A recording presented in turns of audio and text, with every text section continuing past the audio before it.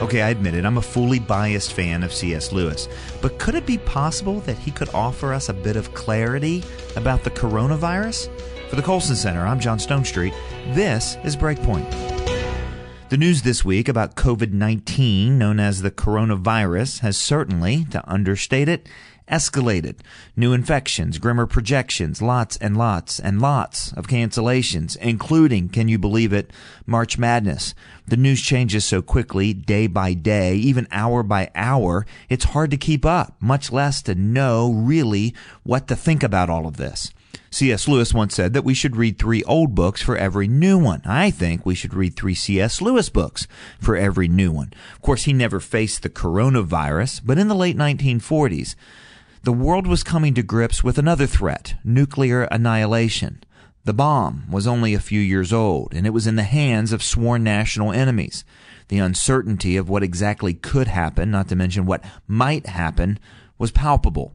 And in that context, C.S. Lewis wrote an essay entitled On Living in an Atomic Age. Now, I'm grateful to one of my Breakpoint colleagues, Ashlee Cowles, for reminding us of this essay, along with some sage advice that whenever we heard atomic bomb in the essay, to think coronavirus. We think a great deal too much of the atomic bomb, Lewis begins. To those who wonder how it's possible to go on in the face of such a threat, Lewis recalled that theirs was not the first generation to live under a threatening shadow. In fact, if we're honest, we all live under a sentence of death. For some of us, that death could even be unpleasant. The important question, said Lewis, is not whether or how we will die, but if in the meantime we'd be doing sensible and human things like praying, working, reading, listening to music, bathing the children. In light of that, Lewis asked his readers to consider the important but unsettling truth that, quote, nature does not, in the long run, favor life. It's an ominous observation that points us to an essential worldview truth. If nature, he said, is all that exists, in other words, if there's no God and no life of some quite different sort somewhere outside of nature, then all stories would end the same way, in a universe from which all life is banished without the hope of return.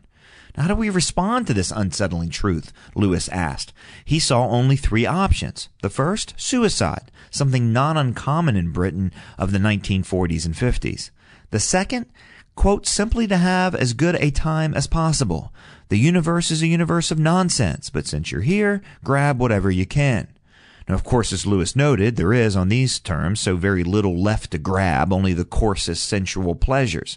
And whether that's talking about sex or listening to music, that pleasure is diminished by the knowledge that any enjoyment we might derive are merely illusions, the product of irrational conditioning determined by our genes.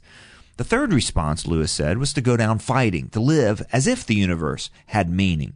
We can insist on being rational and merciful even if the universe is not, he said. Of course, if we choose that option, there's no way to actually prevail against the idiocy of the universe. It would win. Our insistence on being rational or merciful would have no real justification. The hopelessness of those three options should instead lead us to a different conclusion.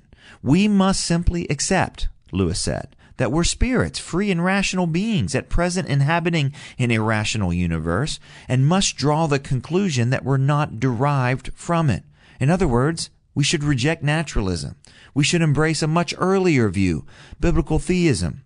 It's the only grounds on which we can avoid despair that's brought by the knowing that we're under a sentence of death, whatever form that death takes. Lewis's words are just as relevant today as they were six decades ago. For people who believe there is a God, then doing sensible and human things are possible and meaningful because we do have hope. But for those who don't have hope, no amount of toilet paper or cans of spam stacked in the garage can make you truly safe, much less solve the ultimate question of meaning that will haunt us all. Today, as yesterday, the world is still in God's hands. Nothing has changed whatever the next chapter of this coronavirus story might be, the same questions remain to us. Will we trust God? And then, will we love our neighbors? And finally, how should we then live? Come to breakpoint.org for a link to a dramatic reading and a video animation of C.S. Lewis's essay on living in an atomic age. And remember, whenever you hear atomic age, think coronavirus. For Breakpoint, I'm John Stonestreet.